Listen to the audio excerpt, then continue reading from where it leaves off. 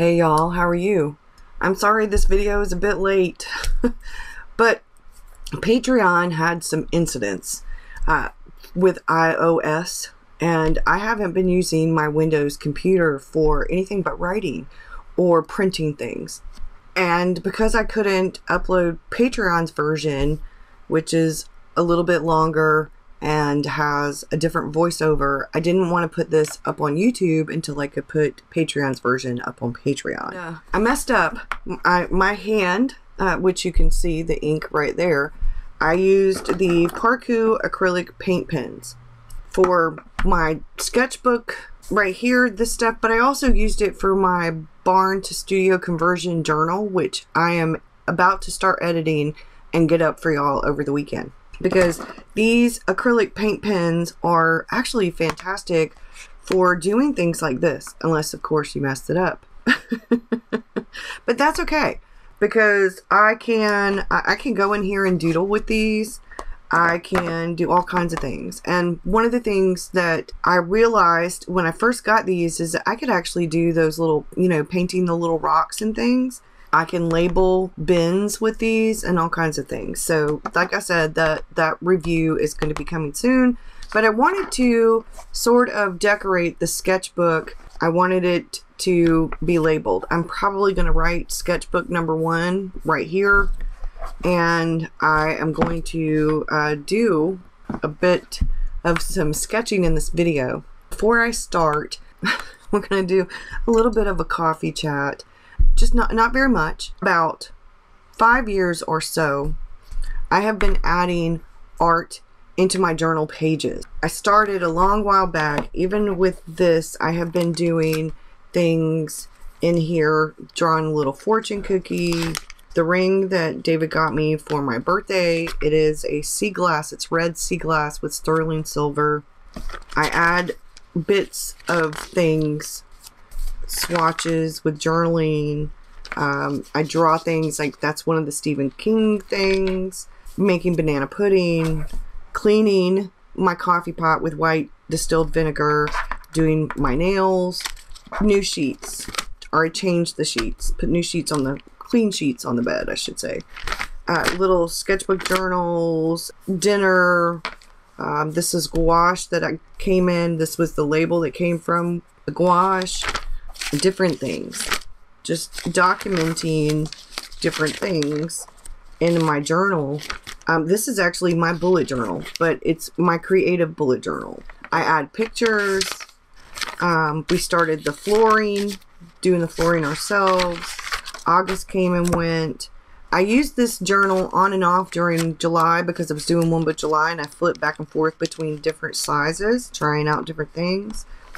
I often do all different kinds of things in my journal. Now, one of the things that I noticed as I got more and more into this journal, I noticed that I was doing art sometimes, but I was doing the same kinds of little things that I often do, but I wasn't really um, sketching to improve my art in a way that I really wanted to and I hadn't been using a sketchbook. This has been the craziest year, but I wanted to. And I wanted to get better at things. I wanted to grow as a person. I wanted to find ways. This was documenting the earthquake that hit North Carolina and South Carolina, more flooring. I, have been trying to find ways to uh, do different things. Selena was messing with my phone so much that I got locked out of it for five minutes just doing different things, adding bits of it. And at like some weeks I did quite a bit of art. Other weeks I didn't do very much art. Some days, you know, different things. But the more that I was doing things in here, the more that I realized this was some stuff for the studio, figuring things out. The more that I realized as I got into it, especially with this month, but it's been bothering me for the last few months. I talked about this in the video that I did where I introduced the sketchbook adventures, the sketchbook journey with Burgess. There's two hashtag ha, blah, blah, blah, two hashtags just in case.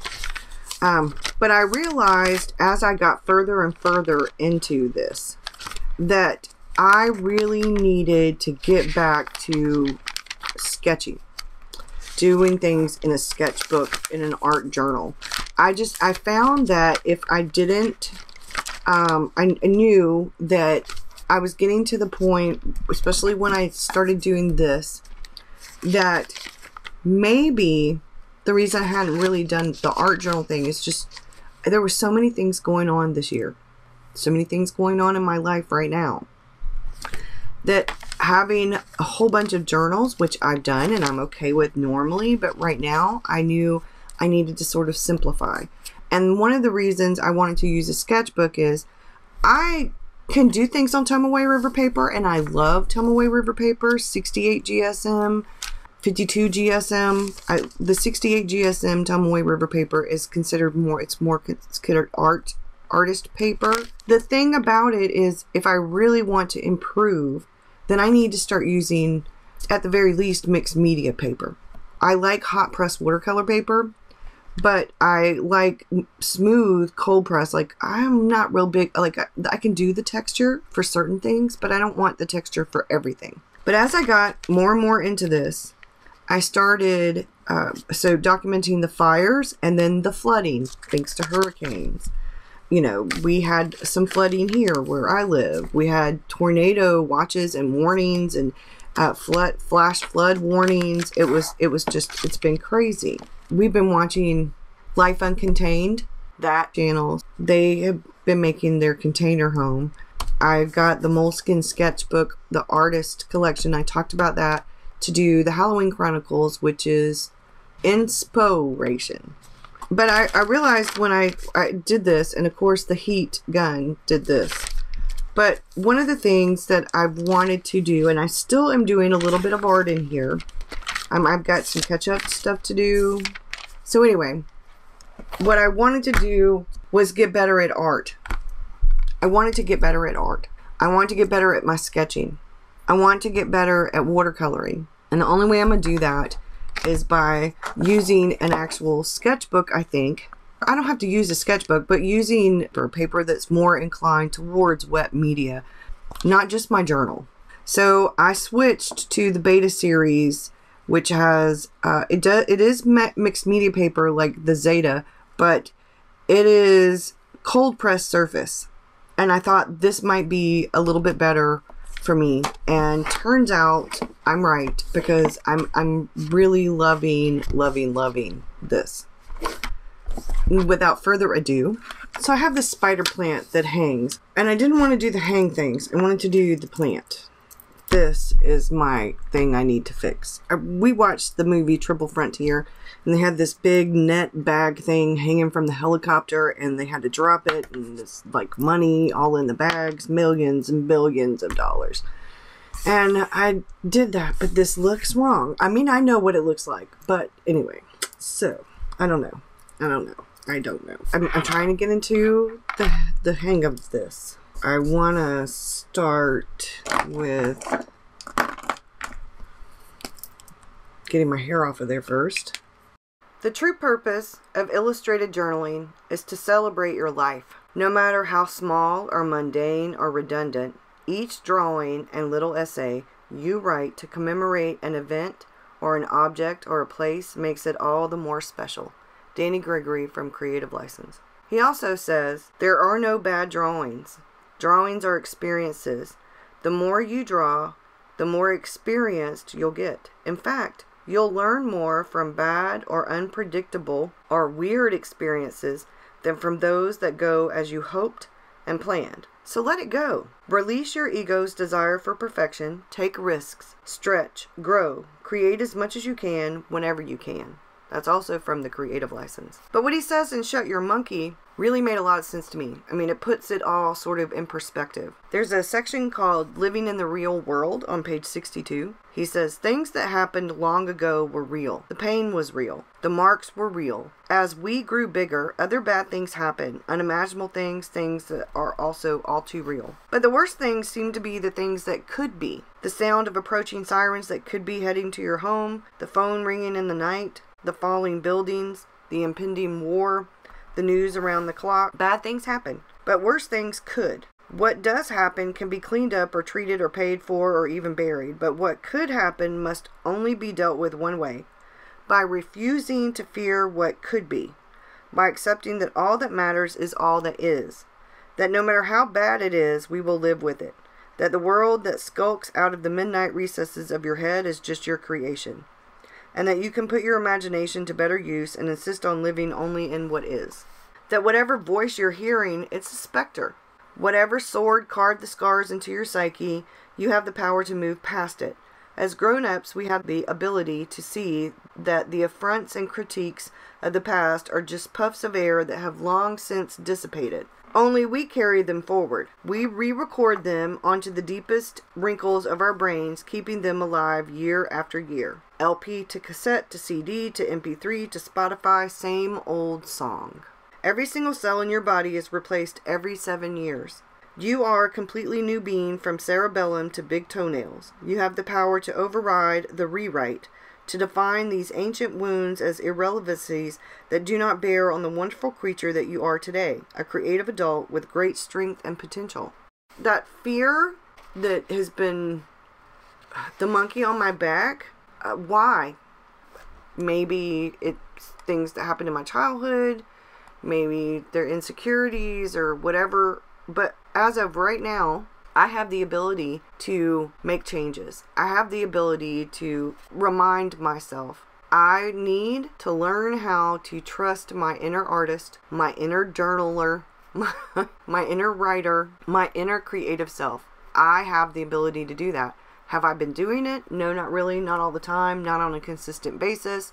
Do I need to do that? Yes. I've talked about, I, I feel like I don't really have a style, but I think it's not that I don't have a style, it's that I'm unhappy with what most people would consider my style. I want to improve, I want to get better. I've been learning and growing, but I haven't been putting it all into practice uh, because I've been, that's too far out of my comfort zone or because I've been too afraid to or I feel like maybe I'm not good enough, or feeling that I'm not good enough leads to other things, like second guessing myself, being anxious about being on camera and messing up. But if I put all that to the side and I let go of those feelings, and I remember that I enjoy being creative, I enjoy journaling. I enjoy art. I have fun. It relaxes me. And I make it more about that and less about the other stuff, then I'm going to enjoy it more. It's going to relax me more. I'm going to learn more. I'm going to experience more. I'm going to be able to put two and two together and get four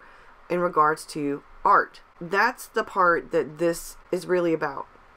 It's not just sketchbook adventures, it's the sketchbook journey with me. That's why one of the hashtags is going to be sketchbook journey with Burgess. Sorry for the noise outside. There are kids on go karts and mini bikes and golf cart. You can embrace change, he says on page 69 in Shut Your Monkey, and you might fail. Or you can accept change and certainly fail.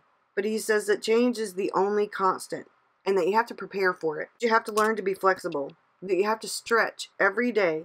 Stretch your mind, your imagination, your assumptions, your body. Don't hang everything on anything but your own willingness to stay awake and connected. Ideas and rules that were once ironclad eventually rust. Prepare to create new ideas, original thoughts, fresh directions. Hang out with innovative, adventurous, excited people. Gorge on the endless variety of new things happening. And now, more than ever, here on what is still the frontier of an epic transformation of every connection on our planet, we need to be more nimble and adaptable. We still need principles and values and a sense of what we are doing this all for, but we need to be very willing to change how we get there to take roads heretofore untraveled, and to not flinch at the strange things we see along the way. Just to survive in these times, you need to resist the dimming pasture monkey clings to. You need to open your mind, work hard, and focus on the big picture. He used to, his first job in advertising, he had the responsibility of setting up a projector for new business meetings that the reel of commercials was literally that a big spool of 16 millimeter film and it seemed pretty cool. A few years later every conference room sported the three quarter inch videotape deck and the reels were on tapes the size of a stephen king novel Yes, those are pretty big, some of them. He says later on there were revolutionary changes. They were meaningful. But while, you know, they were tinkering with the latest gizmos, few saw the real sea change approaching that the whole business of making TV commercials would eventually end up in hospice, undone by social marketing and YouTube and tweets. I mean, that's the nature of change, and that's what he says. That while you're busy plotting about how big an office you'll get with your next promotion, offices are being replaced by cubicles. While you're applying to journalism school, newspapers are folding. While you're applying for your union card, the plant closes. While you're shooting the next blockbuster, everyone is staying home to watch vines on their phones. And that's the truth of it if I spend all my time planning and researching and everything and I don't actually get to sketching, I'm taking all these classes and I'm reading all these books, I'm watching all these how-to videos, but I'm not actually doing the work, then I'm doing it for naught because everything's going to have been changed by the time I get around to doing the stuff. So instead of just thinking about doing it, or instead of just planning on it, or doing the research, uh, reviewing sketchbooks, or any of that, I'm actually doing. I'm doing. That's what you see in this video is me doing the actual work. Could I have done some of the sketches better? Definitely. But that's not what this is about. Each time I do something, even when I make mistakes, even when it doesn't come out exactly right, I'm trying, I'm learning, I'm practicing, and that's what this is really about. It's about having fun and doing the work and practicing.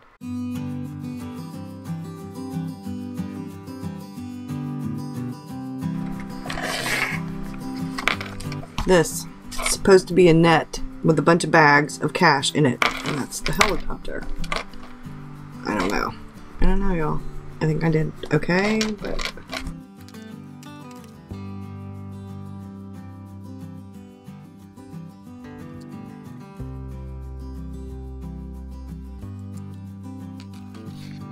So, so far... We're gonna put the date on there.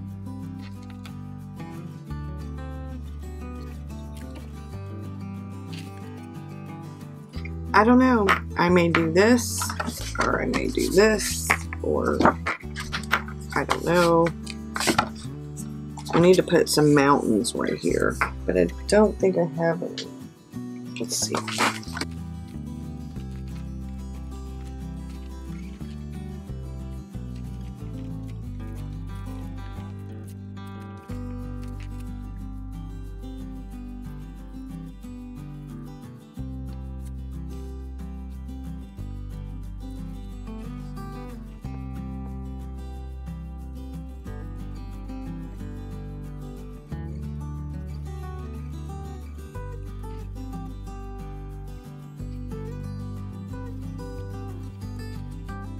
That at least covers up the big mistake. So far, so far. I'm finding that I really do like this paper. I need to do something with this bowl, though.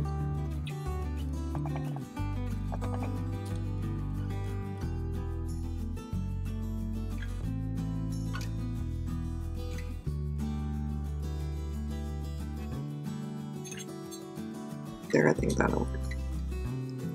Alright, thanks y'all. Have a good one.